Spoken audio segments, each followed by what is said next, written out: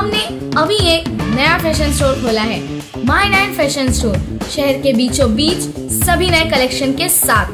Ladies bags एस्पेनो locus Enigma trolley bags Polo club USA Ventex Germany footwear own manufacture new arrival latest collection ladies shoes handbags sandal men shoes and slipper 100% client satisfaction तो आज ही आइए माई nine fashion store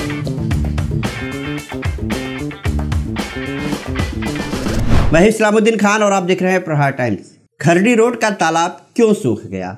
इस बारे में मुमरा शहर के कई चैनलों ने खबर दिखाई थी और तालाब सूखने की वजह बताई थी, मगर इस मामले में अब आधिकारिक बयान सामने आया है। अधिकारी ने बताया है कि जितने भी चैनलों पर यह खबर दिखाई गई, वो बेबुनियाद और झूठ है। दिवा प्रभाग समिति के सहायक आयुक्त महेश आहिर ने एक चैनल से बात करते हुए खुलासा किया कि तालाब का टेंडर सुंदरीकरण का 2018 में निकला है और तालाब का काम शुरू करने के लिए तालाब को सुखाया जा रहा है। साथ ही समाज सेवक हीरा पाटिल का भी बयान सामने आया है। इस इलाके की नगर सेविका हीरा पाटिल की पत्नी ही है।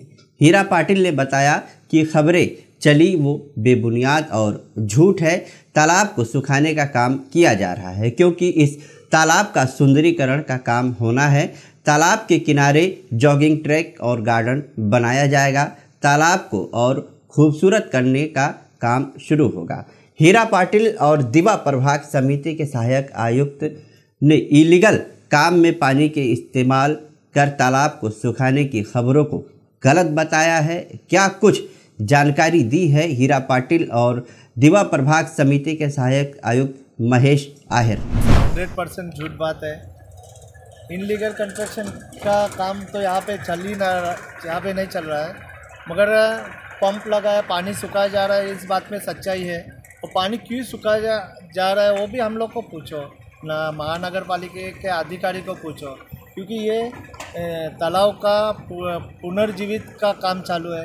यहाँ पे पूरा ये दीवार टूटा है, यहाँ पे जॉगिंग ट्रैक का हमारा प्लानिंग है, पूरा दल है, मट्टी है वो निकालने का है। तो मुझे नहीं लगता क्या बिना पानी निकाल के ऐसा कौन सा चीज़ है जिससे ये चीज़ मतलब मट्टी निकल सकती है। अभी रफ़ीक भाई का क्या चल रहा है मेरे भी दिमाग से बाहर है, क्योंकि उनकी दिल में क्या सोच क्या मुझे नहीं समझ में आता। उन्होंने ये पानी निकालना इनलीगल बताया। अभी क्या बोलूँ उनको? क्योंकि उन्होंने वरिष्ठ पत्रकार है तो जानकारी लेना ज़रूरी भी था। नगर पालिका को पूछो या नगर सेवक को पूछो, यहाँ पे पत्थर भी डाले हम लोग। ये पत्थर यहाँ पे बाउंड्री वाले, कल उठ के कोई ये भी बोलेगा, यहाँ पे चाली बाँध रहे कुछ किसी का कुछ भरोसा भी नहीं है। मगर मैं आपको मुमरावासी जनता को मैं कहना चाहूँगा, क्या यहाँ पे एक अच्छा सा, प्यारा सा लोगों को घूमने के लिए एक फ़र्स्ट क्लास यहाँ पे गार्डन और जॉगिंग ट्रैक का प्लानिंग है। ऊपर वाले के दुआ से, भोलेनाथ के दुआ से जल्द से जल्द जल्दी तैयार होगा। वही टाइम पे भी आप भी आप, ये अभी सब पूरा दिखाओ, वो टाइम पे भी ये बाद में दिखाओ। हमारा मकसद है मुमरा की लोगों का सेवा करना, और वो हम लोग हंड्रेड परसेंट कर रहे हैं। अभी किसी को क्या लगता है उसका जवाब मैं नहीं दे सकता, क्योंकि मैं एक आम आदमी, छोटा आदमी, बड़ा आदमी नहीं हूँ। जो भी चीज़ है जो भी चीज़ है, वो हिसाब से हम लोग काम कर रहे हैं। और नगर पालिका के अधिकारी उनसे पूछो, माँगता तो उनको नंबर ले लो, पूछो। हालाँकि ये न्यूज़ देखने के बाद में मैं रफ़ीक भाई को ये बात बोला, भाई ऐसा ऐसा न्यूज़ दिखाया है। तो उनका मेरा बात हुआ क्या मैं कल आता हूँ। जो होगा, बोला, आके आओ, अपन दिखा देते जो सच्चाई वो करो। पत्रकार का धर्म है, सच्चाई दिखाना, अच्छी बात है। मगर यहाँ पे जो सच्चाई है मेरी उम्मीद, मुझे उम्मीद थी क्या वो रफ़ीक भाई जो सच्चाई वो भी दिखा, दिखाते तो अच्छा रहता क्योंकि मुमरा क्या लोगों के ऊपर भ्रम नहीं हो उन्होंने कहाँ का फ़ोटो कहाँ पे लगा मुझे नहीं पता। आप है, आप जगह तो जगह सामने आप ढूंढो, यहाँ पे आजू बाजू में कहीं कंस्ट्रक्शन है क्या? और कंस्ट्रक्शन के हम लोग परेशान है?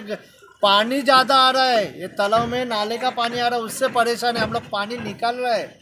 बहुत ये जगह पूरा पानी पानी का जगह है। यहाँ पे देखो, वहाँ पे देखेंगे तो पूरा झाड़ सूख गए क्योंकि पूरा पानी भरा हुआ है। एक्चुअली ऐसा है कि मेरी जानकारी के हिसाब से 2018 में तालाब के टेंडर हुए थे, सुशोभीकरण के। तो उसके लिए तालाब के अंदर जो पानी है, वो निकाला जा रहा है।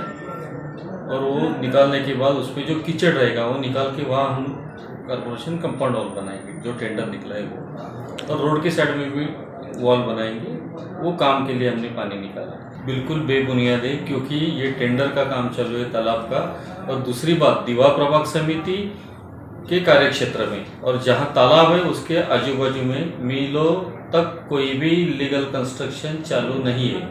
ये जो बात है, जो कोई अफवाह फैल रहा है, उनके ऊपर कॉरपोरेशन कड़ी से कड़ी कानून कार्रवाई करने की सोच रही है।